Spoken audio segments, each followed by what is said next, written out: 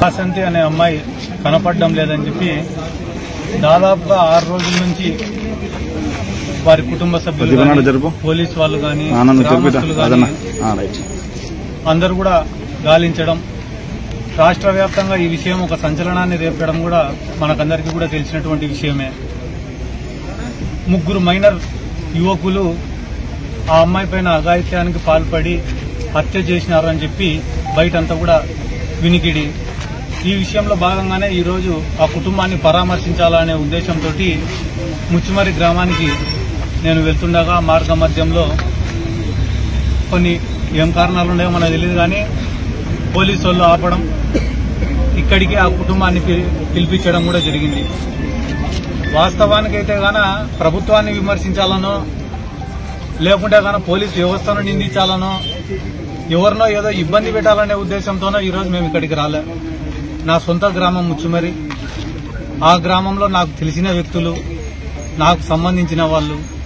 ఈరోజు వాళ్ళు బాధల్లో ఉండగా పరామర్శించడం అనేది నా యొక్క బాధ్యత అని చెప్పి ఫీల్ అయి నేను ఇక్కడికి వచ్చినానే తప్ప ఇక్కడ ఏదో పొలిటికల్గా దీన్ని ఇష్యూ చేయాలనే ఉద్దేశంతో నేను రాలే. ఎందుకంటే కానీ ప్రభుత్వం ఏర్పడి అంతా కలిపి నెల రోజులు కూడా కాలే. మేము వచ్చి ప్రభుత్వం పైన బురద జల్లాలనే ఉద్దేశం మాకు కూడా లేదు. కానీ అంత లోపలే మమ్మల్ని ఇక్కడికి పిలుచుకురావడం పోలీస్ స్టేషన్లో కూర్చోబెట్టడం అనేది కూడా మంచి పద్ధతి కాదు. అది ఎవరు ప్రెషర్లు ఉండే ఏం కథనో వాళ్ళ ఆలోచన చేసుకోవాలా కానీ బీహార్ లాంటి రాష్ట్రాలలో లేకుంటే కానీ మణిపూర్ లాంటి చోటనో ఉత్తరప్రదేశ్ లాంటి చోటనో ఎక్కడో క్రైమ్ ఎక్కువ ఉండే చోట కూడా ఒక ఆడపిల్లకి ఏదన్నా అన్యాయం జరిగిందంటేనే ఎవరో ఒకరిపై పరామర్శిస్తామంటే గాన పోయి రమ్మని చెప్తారు. కానీ ఈ రోజు ఇక్కడ తీసుకొని వచ్చి ఇక్కడ స్టేషన్లో కూర్చోబెట్టడం అనేది ఇప్పుడు కొత్త అనుమానాలు రేకెత్తించే పరిస్థితి తీసుకొని వస్తున్నారు. ఏమేమి అక్కడికి పోతే ఏమైనా నిజాలు ఏమైనా బయటపడతాయని భయపడుతున్నారా? లేకుంటే రాజకీయ నాయకుల ప్రమేయం ఉందని ఏమైనా భయపడుతున్నారా? దేనికోసం అడ్డుకుంటున్నారు? కేవలం ఆ కుటుంబానికి న్యాయం జరగాల? ఆ కుటుంబంలో ఒక ధైర్యాన్ని నింపాలనే ఉద్దేశంతో ఇక్కడికి వచ్చినామే తప్ప వేరే ఒక ఉద్దేశం కూడా మాకు లేదు. అదే రకంగా ఈ రోజు గవర్నమెంట్ను గానీ ముఖ్యమంత్రి చంద్రబాబు నాయుడు గారిని గానీ డిప్యూటీ సీఎం పవన్ కళ్యాణ్ గారిని గానీ హోమ్ మినిస్టర్ అనిత గారిని గానీ మేము కోరే విషయం ఏమిరా అంటే ఎవరైతే ఈ క్రైమ్కు పాల్పడినారో ఎవరైతే దీని వెనకాల ఉన్నారో వాళ్ళకందరికీ శిక్ష పడే విధంగా మీరు చర్యలు తీసుకోవాలని చెప్పి మేము రిక్వెస్ట్ చేస్తున్నాం కోరుకుంటున్నాం. ఎందుకంటే గాన ఇటువంటి ఇన్సిడెంట్స్ మళ్ళీ జరగకుండా ఉండాలంటే గాన నిందితులకు శిక్ష పడాల. గతంలో కూడా గతంలో మీరు తెలుగుదేశం పార్టీ అధికారంలో ఉన్నప్పుడు కూడా ఇదే కర్నూలు జిల్లాలో ప్రీతిబాయ్ అనే అమ్మాయికి కూడా ఇదే రకంగా రేప్కు గురై హత్యకు గురైందని చెప్పి ఒక కేసు నమోదైంది. కాబట్టి ఇటువంటి కేసులు మళ్ళీ మళ్ళీ పునరావృతం కాకూడదంటే గాన చేసిన వాళ్ళకు కఠినంగా శిక్ష పడిన రోజునే మళ్ళా ఎవరైనా ఇటువంటి తప్పులు చేయాలంటే భయపడతారు. ఇక్కడ వచ్చి వీళ్ళని పరామర్శించేదానికన్నా కూడా వాళ్ళకు న్యాయం జరగడం చాలా ముఖ్యం. ఐదు రోజులైనా ఆరు రోజుల తర్వాత మేము ఈ రోజు ఎందుకు వచ్చినామంటే చట్టం అనేది ఒకటి ఉంటుంది పోలీస్ వ్యవస్థ అనేది ఒకటి ఉంటుంది. వాళ్ళు వాళ్ళ పని చేసుకుంటా పోతుంటారు.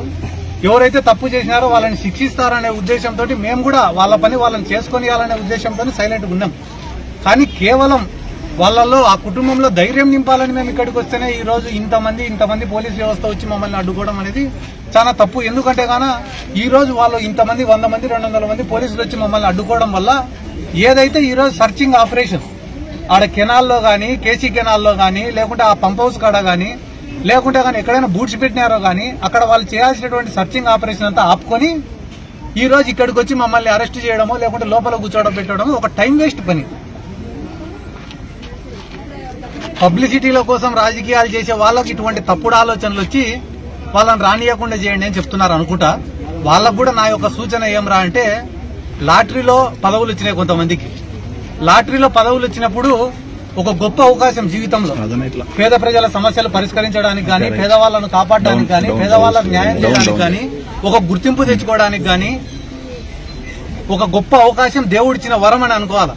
అటువంటి అవకాశం వచ్చినప్పుడు పది మందికి సర్వీస్ చేసి అబ్బా పలానా వాళ్ళకి మనం ఓటేసినందుకు మనకి ఇన్ని పనులు చేసినారా అని చెప్పి గర్వంగా జీవించేటట్లా ఉండాలా తప్ప పాతకాలం మాదిరిగా ఇంకా కేసులు పెట్టాలా పోలీసులతో హరాస్మెంట్ చేపియాలా ఇబ్బంది పెట్టాలా ఊర్లలోకి రాకుండా ఆపాలా ప్రజలను భయభ్రాంతులకు గురి చేయాలా లేకుంటే కులాల కులాలకు మధ్యన కొట్లాటలు పెట్టాలా ఇటువంటి నీచమైన పనులు ఆపుకొని ఈరోజు చాలా దురదృష్టమైన సంఘటన ఆ వాసంతి అనే పాప చనిపోవడం ఇటువంటి టైంలో కూడా రాజకీయాలు చేయడం నిజంగానే చాలా దురదృష్టకరం.